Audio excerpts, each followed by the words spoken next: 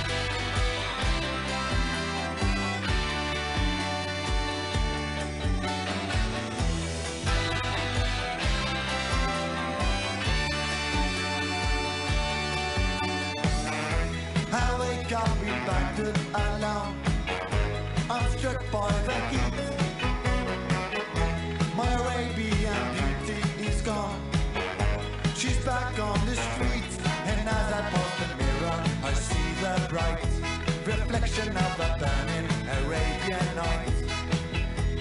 Arabian night. Arabian. We met in a dusty hotel. I reached for her hand. She said we can do what we like, please understand.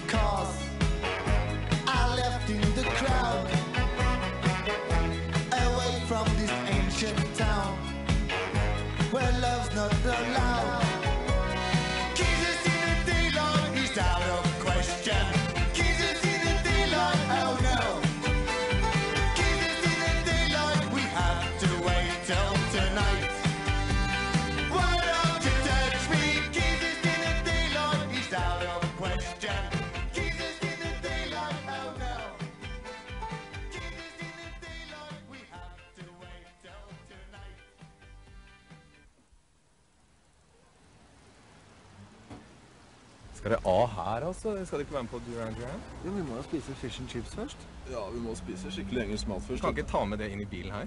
Kom dere ut. Nei, det er Spise utafor. det er dårlig service her. Vi er jo ikke vant til å kjøre sånn bil. Det bare Ivar Dyre. Så gjør det.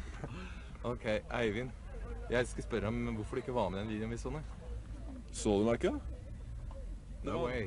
Det var meg som satt og øh, gjorde sånn med En av de, en av de vakre damene. Nei, ja, jeg var i øh, Det var ikke noe vits i at jeg var med på den videoen. Det er en uh, veldig personlig låt, i grunn. Og jeg var da i England og hadde møte med Emi og så videre hele tiden. Og nå er begge i England uh, laget også. Hvorfor det? Vi er for å prate med Emi, ja. For Og se på å Duran Duran. Ja, og så prate med Ivar Dyrhaug. Det er viktig. Handle julepresanger og Ønsker folk godt nytt. Men dere har prata med Emi, og dere har skrevet denne feite kontrakten som alle Ja. har hørt om. Men det er langt igjen. Men det er forberedelser og prate med manager og diskutere TV-show og turneer. og- Ja, mye planlegging, vet du. Er det mye prat og lite ull? Er dette her bare en voldsom opphaussing? Altså, er dere hva er, hva er det? Det har stått så mye om dere, men jeg ser dere ingen lister ingen steder. Ja, Jeg jeg er ikke kommet ut ennå. Nei, Kontrakten er håndfast nok. Jeg mener, Vi skal slippes i 57 land, og, og, alt det der er helt i orden. Um, Det, klart, det, har vært, det har vært mye oppstyr. Jeg mener, også, også Å sammenligne oss med ABBA og sånn, det er helt vanvittig. Jeg mener, vi er to unge norske gutter som gjør eh, vår musikk, og det kommer til å fortsette med. Og vi har vel kanskje ikke så veldig store forhåpninger om å bli nei, vi, vi er forberedt på, forberedt på det verste, vet du. Og Stort det, sett. og det er fiasko? Ja, men dere har sagt det. Nå, nå sa du det igjen, at dere er vanlige norske gutter. sånn, Men Ja, tror vi- ikke det i hjertet deres. Dere tror ikke dere er vanlige Jo, Visst er vi det. jo, vi er Visst er vi det. Og, og vi- vi er fullstendig klar over at vi, for, for å greie det, så må vi jobbe 8-10-12 timer om dagen. Beinhardt. Og det er, vi, det er vi klare for å gjøre. Og hvis vi da greier det, så, Du ler, så du. er det morsomt. Ja, jeg er helt overbevist om at dere mener at dere har noe.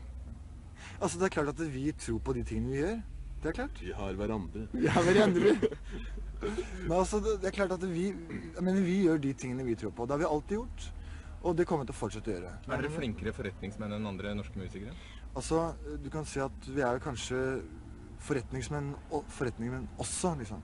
Vi er ikke bare musikere. Ja, Man må ta alle sånne ting i betraktning. vet du. Man må være forretningsmann, man må være musiker, egoist, produsent. Alt mulig må man eh, ha in mind. altså. Ja, så Det er der bl.a. norske musikere har en del å hente og lære. altså. Og, Nei, altså, norske musikere har ikke noe å lære, tror jeg. Jeg mener at norske, norske plateprodusenter, norske plateskap, har mye å lære. Og det de har å lære, er å ta bedre vare på artistene sine. Det syns jeg er viktig. Jeg, jeg tror ikke dere rekker Duran Duran, altså, for jeg skal dra nå. og Hvis dere skal fish and chips, så må jeg la James slippe dere ut. altså. Ja, ja, men det får jo veldig gå ut, da. Greit, da. Og så må jeg takke for kjørerturen, da.